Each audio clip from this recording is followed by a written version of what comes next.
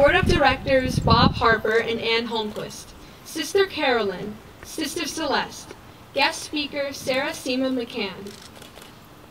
Faculty, staff, friends, family, and class of 2014. I hope that you are all having a lovely day today. My name is Juliana Smith. And I'm Haley Vanderford. Congrats, class of 2014! Keeping it classy since we were freshmen. See, we've been freshmen, new and blue, sophomores, thinking we're bomb and purple too. Juniors, rings, and hanging with our middle sis. Seniors, kairos, and senioritis, and now this. Graduation and celebration. I'm proud of how far we've come, the strong young women we've become. We're done with the stage, but not ready to retire. Let's reach higher into the world on fire.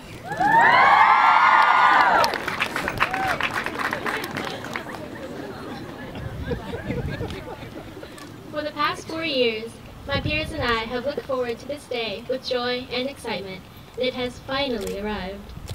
Congratulations to my fellow seniors for completing your high school journey with class, dignity, respect, and determination. However, besides the triumph and happiness, one thing I did not expect to feel on this day is a sense of loss.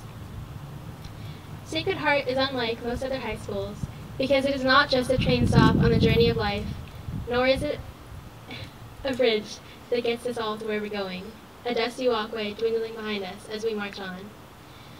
Instead, Sacred Heart has enriched our minds, our hearts, and our spirits every single day and every step of the way.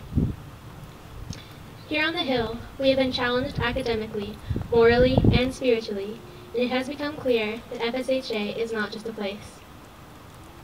Sacred Heart has become ingrained within us all, and it will never leave us. In this safe environment, besides the benefit of being able to roll out of bed in, in the morning without touching a hairbrush, we have been able to be daring, speak our opinions, and try new things without the fear of failing.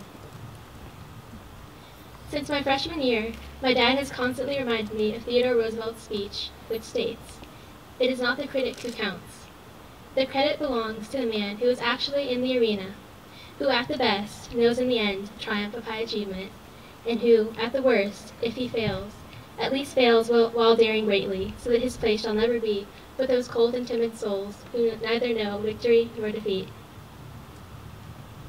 Sacred Heart has given us all the opportunity to be in the arena without the fear of getting knocked out. The best part, though, is that we have all been in this arena together since day one. My very first experience at Flintridge Sacred Heart was summer cross-country training. I was never a runner, but my family encouraged me to step outside my comfort zone.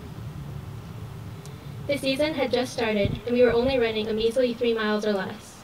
Toward the end of the run, I was breathless, exhausted, and I remember thinking to myself, I'm never doing this again. This is torture. In an instant, a senior runner ran up behind me and encouraged me to run the whole way back, and she even taught me a trick of how to breathe more efficiently.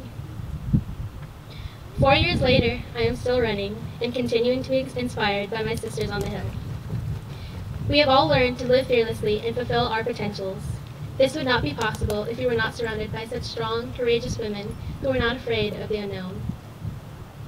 Our eyes have been opened to the tragedies and needs of the world, and we've been taught to live our lives not just for ourselves, but for others.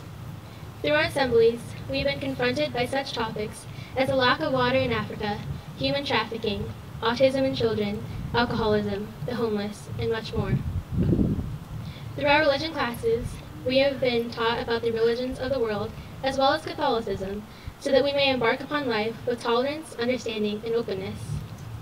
Our English courses have taught us to think critically and write on a college level.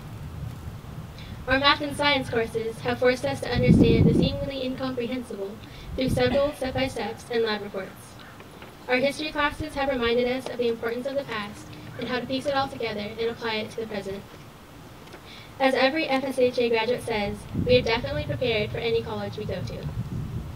As you all begin your college education, remember that FSHA is with you wherever you go, not just in your minds, but in your hearts, as you make decisions that will forever affect your lives. Remember to stay in that arena, as you have all done so fearlessly, despite the fact that FSHA's safe environment will no longer be where the match takes place. Your Tolog sisters will always be there for you, cheering you on, even if you get a swift punch to the gut. Remember your foundation and always live your lives with faith, truth, and integrity.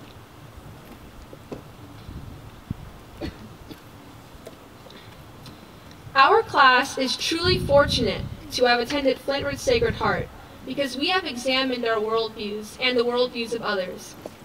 While we don't really change as people, we definitely change perspectives.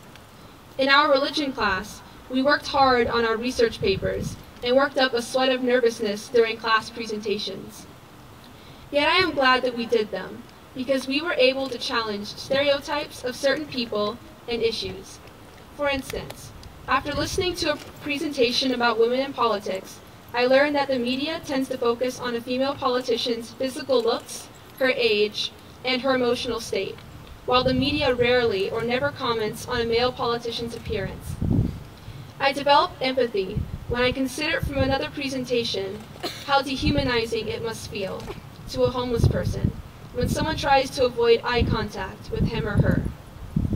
Some of us, including myself, had become desensitized to these issues. Yet I am grateful to my classmates who have not only made me aware of these injustices, but taught me to seek the truth, or veritas, instead of relying on the mainstream assumptions of society or the media. Flintridge Sacred Heart truly fosters the development of faith, integrity, and truth. I envision all of us graduates as empowered young women in college by raising our hands to answer a question when no one else does, remaining strong in our own faith while respecting the faith traditions of others, and choosing a career that we are passionate about to fulfill our calling. With this foundation of respect for others' vocations and acceptance of our own, don't let your gender, beliefs, orientation, physical appearance, or any other personal trait discourage you from moving forward, whether it be in your studies, your social life, or your career. Each combination of qualities is unique to your worldview and your purpose. Let's all contribute our diverse perspectives to the colleges and careers we will pursue.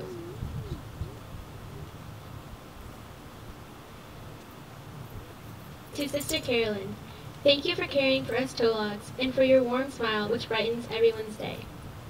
To Sister Celeste, thank you for being so welcoming and friendly and for being an amazing Kairos leader, analyzing and watching every move we all made. It amazes me how you know the names and quirks of every girl on the hill. To the senior parents, thank you for creating and nurturing such lovely daughters who are hardworking, passionate, and respectful. Your support in all of our academic and athletic endeavors is acknowledged and appreciated.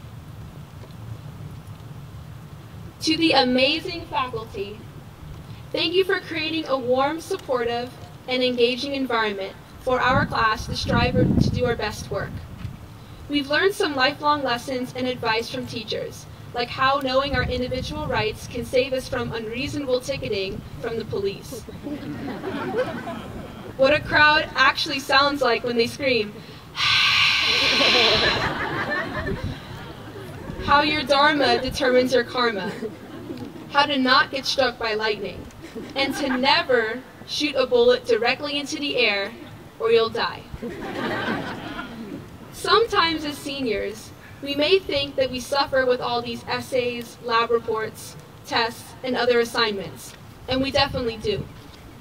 But we forget that our teachers give up a lot of their time, even their free time sometimes, so that we can succeed.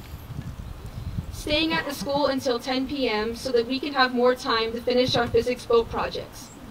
Correcting and giving us constructive criticism on our countless essays. Writing thoughtful letters of recommendation.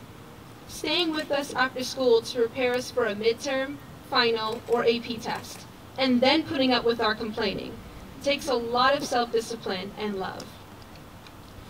We have not forgotten about our amazing and hardworking administration, who make sure our school, its programs and events, are up and running smoothly. You are continually coming up with new and innovative ideas to improve our school, like the laptop program this year. Also, a special thanks to our kitchen, maintenance, and office staff, the backbone of our school, who keep the campus looking beautiful, the students well fed, and the school open. To Coach Nish and Mrs. Sauer, thank you for being so dedicated to the cross-country team, pushing us all past our perceived limits. You have greatly impacted my life for the better, as well as the lives of every other Sacred Heart cross-country runner. to my mom, thank you for teaching me generosity, kindness, and compassion. I have never seen someone cry out of empathy more than you, but it's probably because no one has a bigger heart. to my dad, thank you for being my rock, my twin, and the person who knows me better than anyone. I know for a fact I would not be standing here today without you.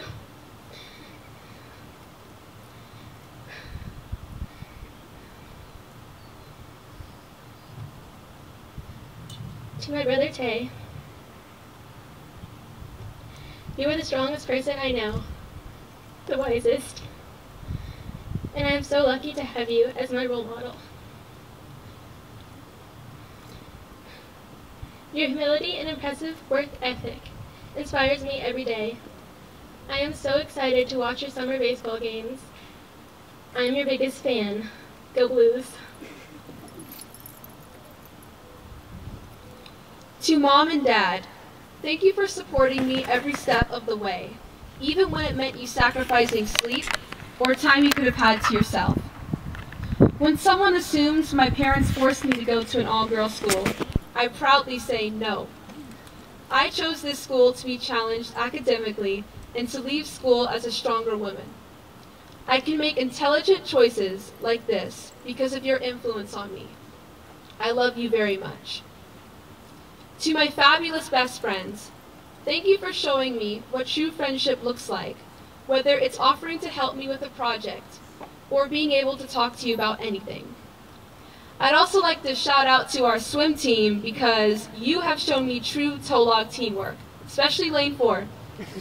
I believe our cheering of the T T T O L oh, oh, oh, O O O G S at the end of every swim meet really shows our support for one another.